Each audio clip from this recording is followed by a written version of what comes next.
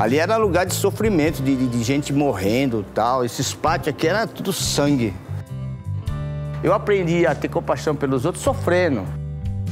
Eu, eu podia passar aqui e falar que lugar fila da puta, que lugar desgraçado, né, meu? Que eu vim aqui sofrer e sofri pra caramba. Mas foi aqui que eu aprendi também. Foi aqui que eu aprendi a ler, foi aqui que eu aprendi a, a estudar, foi aqui que eu aprendi os valores que eu tenho. Incrível. O que eu aprendi de bom, eu aprendi aqui dentro. Cultura é uma coisa que não morre. Tudo que existe no nosso mundo é cultural. Eles pegam um moleque que tentou roubar, que roubou um shampoo lá no supermercado e põe aqui. Pega um cara que assaltou um banco, põe aqui. Pega um cara que tentou passar no aeroporto com 50 gramas de cocaína, põe aqui. Pega um cara que fez um sequestro, põe aqui e enterra em pé, dentro de uma prisão. Então, que cultura vão produzir esses caras dentro da cadeia, vindos cada um de sua origem criminosa, de seu núcleo criminoso? As pessoas que tomam conta da cadeia não estão nem aí com, com o preso em, naquela cultura do preso. Quando eu fui preso, eu tinha 19 anos, eu conhecia o meu bairro e o centro da cidade mais nada. E estava preso pro resto da vida. Minha pena ultrapassava 100 anos, chegou a 132 anos. Eu cheguei a ser professor dentro da, da cadeia durante 10 anos. Alfabetizei trocentos caras dentro da cadeia. Um monte, um monte de, de pessoas, né?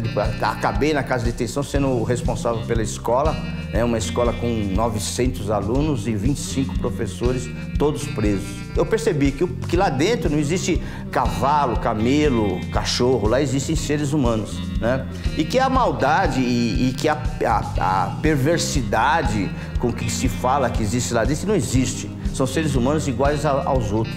Comecei a estudar a respeito de criminologia e tal, e, e me desenvolver nessa, né, nessa ponta.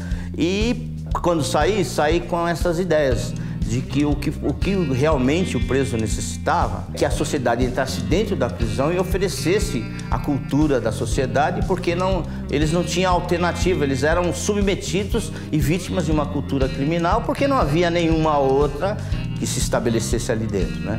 Eu, eu, eu quando eu entro dentro da cadeia, eu entro na marra, porque eu já sou hostilizado da portaria para dentro. Os guardas não gostam de mim. A última que eu fui aí, eu fazer um, uma palestra, o diretor veio me perguntar minha matrícula. Eu falei assim, eu não tenho matrícula, eu tenho RG, serve? Então, que a matrícula é quem tem, quem tem é preso, eu não sou preso. Aí com os presos já é diferente. Se sentir que o cara necessita de você e tal, e que você pode oferecer, você sabe que ele necessita de você. Eu sou uma pessoa comum, como qualquer um. Até os caras têm eu como menos, né? Porque eu sou ex-presidiário até hoje. 12 anos se passaram, ainda sou tratado como ex-presidiário, né? Eles não falam o escritor Luiz Alberto Mendes Júnior. Eles falam o ex-presidiário, escritor Luiz Alberto Mendes Júnior.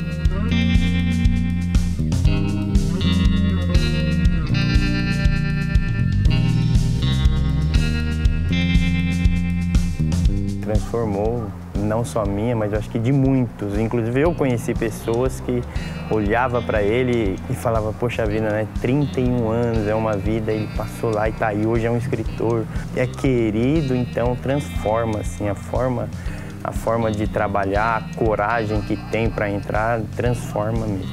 Eu sou uma pessoa que que gosta de gente. Acho que é o, o que me define, que me apaixonei por gente. Assim, é, não consigo mais viver sozinho. Eu, eu aprendi que não havia nada no mundo mais satisfatório do que dar às pessoas aquilo que elas necessitavam. Era uma coisa muito satisfatória e, e que preenchia a alma.